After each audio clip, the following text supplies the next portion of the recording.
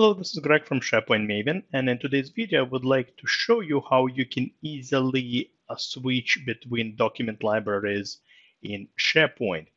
Uh, let me explain to you what I'm talking about. So when you create a new site in SharePoint, uh, just like the one I have here, I have this uh, human resources team site, uh, you always get one document library by default. That's where the documents are stored. And you know, typically you can access this library, um, you know, just by you know clicking on the documents, you know, on the uh, left-hand side navigation, for example, or on See All, and you know, essentially access the documents. But what if you have multiple libraries, right? Uh, libraries are just like file and cabinets. These are just ways for you to um, to really upload documents. For example, let's say I want to create a library for resumes, right? Uh, that I want to store on my on my site. Here we go. I just created another library. How do we easily switch uh, back and forth? Now, um, unless maybe you added this to navigation somewhere, right? Uh, there is really no easy way to switch. In the past, we used to go to uh, gear icon, site contents, and this is where you would see all the different libraries that exist uh, on your site. Uh, luckily, we have a different way um, uh, to switch between libraries. Uh, this is a new feature that we now have in SharePoint Online, and let me show you how to easily switch between libraries. Uh, next to the library, as you can see, I accessed this documents uh, library, which is a default library created.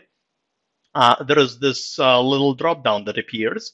And look, when I click on it, it allows me to switch to any other library I have on my uh, on my site. So it doesn't matter whether I built uh, the link to on navigation or not. Uh, I really don't need to go to gear icon site contents. I can just easily, you know, click on a specific, uh, you know, library and essentially access, um, you know, access uh, the uh, library that way quite easily. very important to note, it only shows you the document libraries, right? If I go behind the scenes and um, you know, you will see more than just document libraries. You will see the site pages library, which is a library for pages. It's only going to show you the libraries, not lists, not site pages, but just the libraries where you store uh, documents.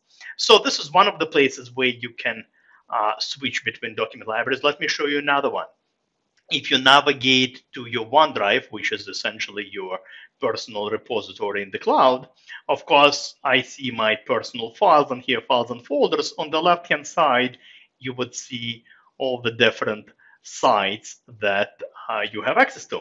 And look at this. Here's my HR team site here, right, as well. And uh, look what happens. By default, it loads the uh, default document library and it shows me the contents of that library uh, right from within my OneDrive. But look at this, I have the same um, you know, uh, ability to switch between different libraries, all right, right here. So again, I can just easily switch uh, between different libraries uh, right in here, right from the convenience of OneDrive. So we have this um, um, ability to switch in two places in SharePoint itself, at the library level, and then in OneDrive right, from the convenience of OneDrive, uh, I can access my SharePoint libraries as well. Uh, we have the same exact uh, drop down here as well. So very, very convenient uh, as you have multiple libraries, which is not unusual uh, on a given site. You can easily switch between them uh, with this with this little drop down. Uh, very important to note is that if you set up unique security on any of those libraries, let's say maybe I created unique security on invoices, and certain people don't have access to the library, they're not going to see it in the in this dropdown, right? So it's all permission driven. All right, so that's all I wanted to show you in this quick videos. Hopefully you learned something new. As always, happy to see you on my blog, sharepointmaven.com, as well as my YouTube channel. Thank you very much. Have a great rest of the day. Goodbye.